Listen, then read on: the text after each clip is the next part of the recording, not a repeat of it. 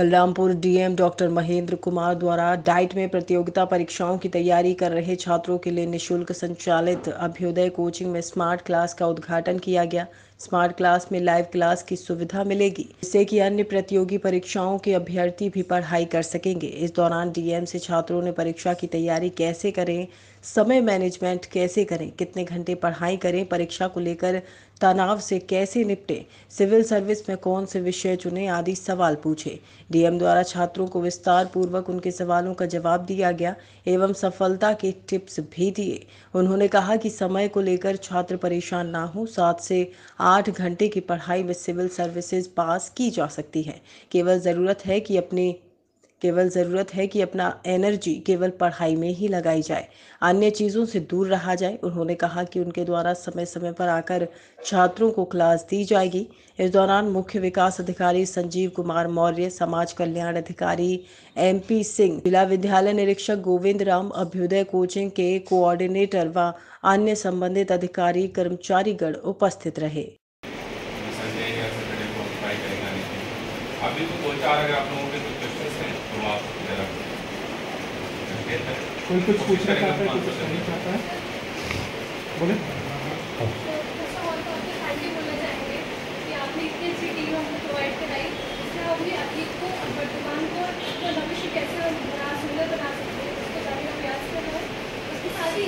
बरेली में एसएसपी के आदेश पर चलाए जा रहे सघन चेकिंग अभियान के दौरान आज थाना इज़्ज़त नगर के हवाई अड्डा नैनीताल रोड बैरियर वन चौकी पर चेकिंग अभियान चलाया गया, जिसमें तीन सवारी और बिना हेलमेट को लेकर सैकड़ों चालान किए गए। साथ में ट्रैफ़िक पुलिस भी मौजूद रही। बरेली ज़िले में एसएसपी के आदेशानुसार बिना हेलमेट और तीन सवारी वालों की शामत आ गई। ज़्यादातर चौराहों पर ट्रैफ़िक पुलिस और थाना पुलिस द्वारा चेकिंग अभियान चलाया जा रहा है। बरेली शहर में बिना हेलमेट पर चालान किए जा रहे हैं। पहले हेलमेट, फिर कोई काम अब नहीं चलेगा, कोई बहाना। अब तो हर हालत में लगाना ही होगा। बाइक चलाते समय हेलमेट के आधार पर चेकिंग अभियान के दौरान बरेली के हर चौराहे पर ट्रैफ़िक पुलिस द्वारा सघन चेकिंग अभियान चलाया जा रहा है। बरेली पुलिस की गर्मी के कारण हुई हालत खराब। एसएसपी के आदेश का पालन करते हुए चिलचिलाती धूप में भी चेकिंग अभियान चलाया जा रहा है। इस दौरान कई पुलिसकर्मी बीमार हो गए ये वो तेरे को आएगा तो मैं नहीं कर पाया तो बालक है बालक बुलंदशहर खानपुर थाना क्षेत्र में एक किशोरी के अपहरण के बाद दो संप्रदाय में तनाव का माहौल व्याप्त है। घटना के विरोध में लोगों ने खानपुर कस्बे का बाज़ार बंद रखा और किशोरी को बरामद की मांग की। कस्बे के पीड़ित पक्ष ने एक विवाह मंडप में दोपहर को पंचायत करने का ऐलान किया है। इससे पुलिस अलर्ट मोड पर आ गई है। सियाना और खानपुर पुलिस कस्बे में तैनात कर दी गई है। पीड़ित के स्वजनों का आरोप है कि रविवार की आधी रात कस्बे का ही एक गैर संप्रदाय का युवक उनके घर आया और उनके घर में सो रही किशोरी को बहला, फुसला कर अपहरण कर ले गया। आरोपित समीर के साथ तीन अन्य युवकों ने किशोरी का अपहरण करने में सहयोग किया। स्वजनों ने आरोपित युवक के स्वजन से किशोरी के अपहरण का विरोध जताया तो उन्होंने पीड़ितों के साथ मारपीट कर दी। किशोरी के स्वजनों से मारपीट के विरोध में कस्बा वासियों ने मंगलवार को बाज़ार बंद कर दिए और आरोपियों के खिलाफ गिरफ्तारी तथा किशोरी की बरामदगी की मांग की।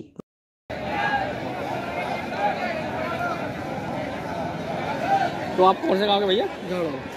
जाडोल के। क्या नाम है? हैं?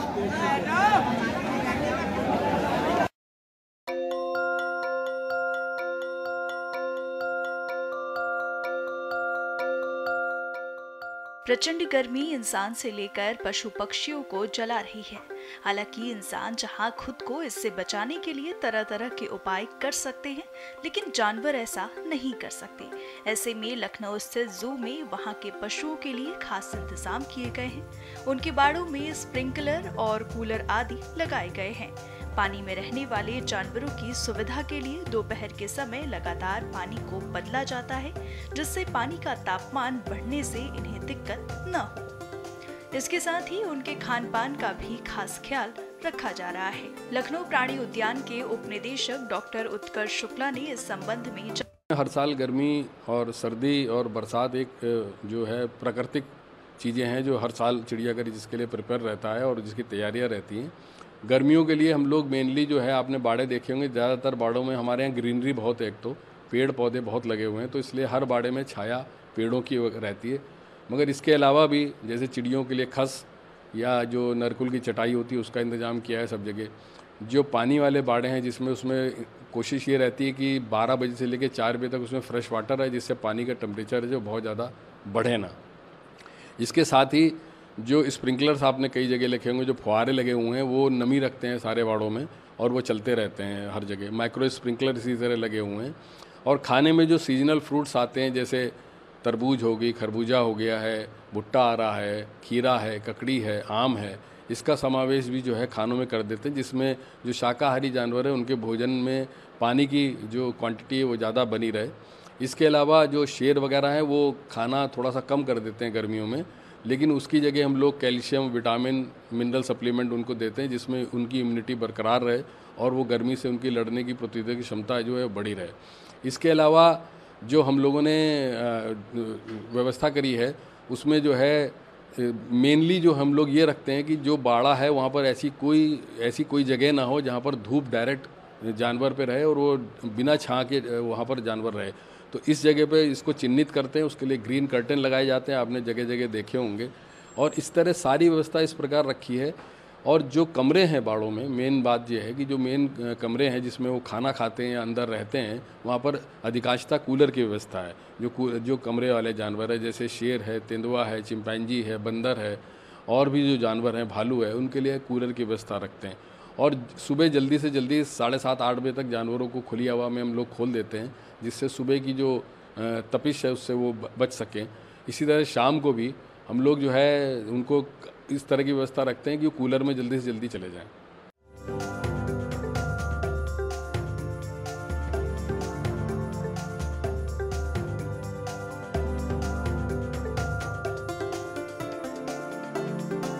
मकान बनाने के लिए ज़िंदगी भर की पूंजी, ज़िंदगी भर की कमाई, पाई पाई जोड़ के अगर बचाई तो मकान बनाने में खर्चा करते हैं। हमारे कई भाई बहनों ने अलग अलग शहरों में बिल्डर ने प्लाट काटे, या प्लाट काटने वाले ने प्लाट काटे, खेत में काटे, दूसरी जगह काटे। मैं मानता हूँ, जब वो कॉलोनी बन रही थी, तब ये ध्यान देना चाहिए था कि ये वैध बन रही है कि अवैध बन रही है? हमारे वो भाई बहन जो मकान बनाना चाहता है, उसका क्या दोष? जहाँ प्लाट मिला, थोड़ा सस्ता मिल जाता है, क्योंकि कमाई है ही नहीं जाता तो अपनी ज़िंदगी भर की पूंजी लगा के प्लाट खरीद लिया। और वहाँ धीरे धीरे पाई पाई जोड़ के अपना मकान भी बना लिया। अब जब मकान बन गया, तब सरकार आई और कहा, ये तो अवैध है। मेरे बहन और भाइयों ये न्याय नहीं है। कॉलोनियों की कॉलोनी, अवैध कॉलोनी। यहाँ मकान नहीं बन सकते, यहाँ नक्शा पास नहीं हो सकता, यहाँ खरीदी बिक्री नहीं हो सकती। अवैध मतलब क्या हम अपराधी हो गए। ये अवैध का कलंक इन कॉलोनियों के नाम पर जो माथे पर लगा था, आज उस कलंक को मिटाने हम आए हैं। काय की अवैध? क्या हमने कोई गलत कमाई से खरीदी? अपने खून पसीने की कमाई से, अपना आसियाना बना लिया। उसको क्यों अवैध कहा जा रहा है? और इसलिए, देखिए, सोच का सोच का अंतर है। एक तरफ़ हम गाँव में मुख्यमंत्री भूआवासी अधिकारी योजना चला रहे हैं और जिनके पास रहने के लिए ज़मीन का टुकड़ा नहीं है, उनको निःशुल्क रहने की ज़मीन का टुकड़ा दे रहे हैं। हम शहरों में भी वर्षों पुराने कब्जाधारी जो गरीब हैं, उनको पट्टा दे के मालिक बना रहे हैं। और एक तरफ़ जिनने ज़िंदगी भर की कमाई लगा के अपना मकान बनाया, उनको हम अवैध ठहरा रहे हैं। ये अवैध ठहराने का निर्णय ही अवैध है। इस निर्णय को मैं समाप्त करता हूँ। अब नियमित कॉलोनियों की तरफ़, इन कॉलोनियों में विकास के लिए उपलब्धता के आधार पर राशि उपलब्ध कराएँगे। रेगुलर कॉलोनियों की तरफ़। वह राशि उपलब्ध होगी और जैसे जैसे पैसा आता जाएगा, विकास के काम वह होते जाएँगे। जितनी ज़रूरी अधोसंरचनाएँ हैं, बिजली है, पानी है धीरे धीरे देखो रहती तो जनता ही है यार। कौन रहता है? जनता ही तो रहती है। कि जनता है तो बिजली नहीं दोगे, कि जनता है तो पानी नहीं दोगे, कि जनता है तो नाली नहीं बनाओगे, जनता है तो सड़कें नहीं बनाओगे अरे जनता है तो बिजली भी देना है, सड़कें भी बनाना है, नाली भी देना है। कांग्रेस का साथ मतलब जनता का विकास। कांग्रेस ने जनता से किए अपने हर वादे को पूरी ईमानदारी और निष्ठा के साथ निभाया है। लोगों से किए हर वादे को पूरा करने की परंपरा और दृढ़ संकल्प लिए कांग्रेस ने मध्य प्रदेश की जनता से भी कुछ वादे किए हैं, जिन्हें हर हाल में कांग्रेस पूरा करेगी। सबसे पहले सभी घरों में मात्र पाँच सौ में गैस सिलेंडर दिया जाएगा। उसके बाद हर महिला को पंद्रह सौ रुपए प्रति महीने की धनराशि दी जाएगी। इसी के साथ सभी को 100 यूनिट बिजली माफ़ और 200 यूनिट बिजली हाफ़ की पहल भी कांग्रेस द्वारा की जाएगी। किसानों के सुखी जीवन को प्राथमिकता देते हुए किसानों का सारा कर्ज भी माफ़ किया जाएगा। हर राज्य की तरह कांग्रेस द्वारा मध्य प्रदेश में भी पुरानी पेंशन स्कीम योजना को लागू किया जाएगा। कांग्रेस ने देश की जनता को जो भी सपने दिखाए हैं, वो हर हाल में सच करके दिखाए हैं। और यही कारण रहा है कि इस बार देश की जनता ने हिमाचल और कर्नाटक से भाजपा को जड़ से उखाड़ फेंका और कांग्रेस को भारी बहुमत के साथ विजय दिलाई। कर्नाटक में कांग्रेस ने जनता से किया हर वादा निभाया है। अब बारी है मध्य प्रदेश। हम लोग की सभी लोगों से बात हुई है हमारी और हम लोग जो है, इसका हम लोग विरोध करेंगे बॉयकॉट करेंगे। तो पहला सेशन है। हम लोगों का मानना है कि राष्ट्रपति जी जो हैं, उनसे जो है उद्घाटन कराना चाहिए था। क्योंकि पार्लियामेंट के जो हेड होते हैं, एक तरह से, वो राष्ट्रपति ही होते हैं। और उनसे ना करा करके, ये कहीं ना कहीं से राष्ट्रपति जी का अपमान जो है वो किया जा रहा है। तो हम लोग चाहते हैं कि पहला जो सेशन जो है, जो उद्घाटन जो भी हो रहा है, इसका सभी विपक्ष के दल मिल करके जो है बॉयकट कर दो हज़ार के जो नोट आए हैं आप दो हज़ार नोट जो बैन किए जा रहे हैं देखिए समझ से पड़े हैं।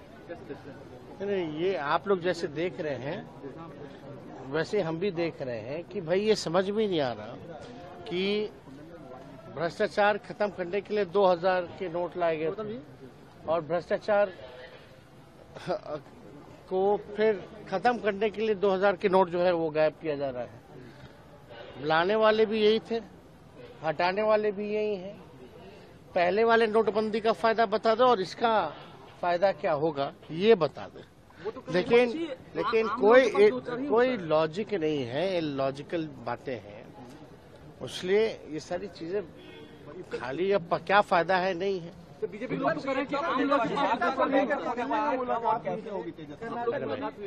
एक एक एक एक एक रुपए खाली सिक्के चलाए ना फिर क्या दिक्कत है?